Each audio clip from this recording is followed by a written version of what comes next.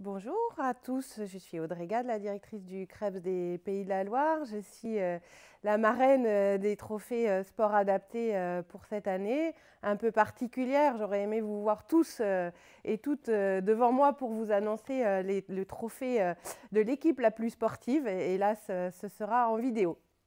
Vous avez été en tout cas nombreux à voter.